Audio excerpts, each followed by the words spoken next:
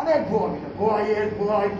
WB এইবারও কি তারা নির্বাচনের কাজে তারা নিয়োজিত হওয়া আছে এটাকে আপনাকে স্ট্রংলি দেখতে হবে এবং আমরা ডিমান্ড করেছি যে একজনকে নির্দিষ্ট প্রতিটি কেন্দ্রে, তিনটি কেন্দ্রে তিনজনকে নির্দিষ্টভাবে দায়িত্ব দিতে হবে। নির্বাচনের কাজে যুক্ত কেউ কোনো ভুয়া অফিসার আছে কিনা।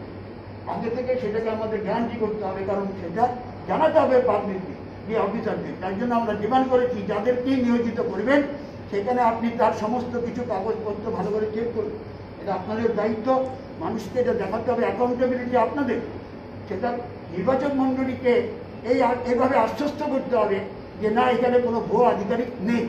কারণ যারা ধরা পড়েছে, তারা নিজেরা বলেছে আমাদেরকে ব্যবহার করা হয়েছে ইলেকশনের কাজে। এই- এই ব্যাপারে অনেক দৃষ্টান্ত আছে, আপনারা পর্দায় তাকে ধরা হয়েছিল। সেই যে মিডিয়ার কাছে বলেছে, সেই ক্লিপিংও আছে। সুতরাং সেগুলি দেখা।